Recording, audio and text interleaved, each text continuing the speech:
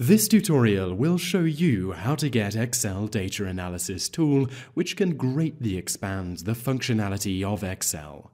Start Excel and click on the File button in the top left corner of the screen.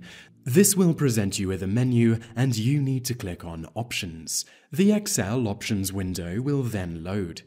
In this window, you need to navigate to the Add-ins option in the left-hand menu.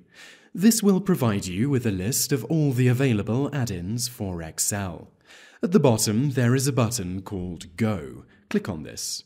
This will open the Add-ins window. This window will give you several checkbox options. You need to click in the checkbox next to the Analysis ToolPak option, then click OK. That is essentially how to get an Excel data analysis tool, and to access it, you need to navigate to the Data tab, and you will see a new box called Analysis, and within it, the Data Analysis option.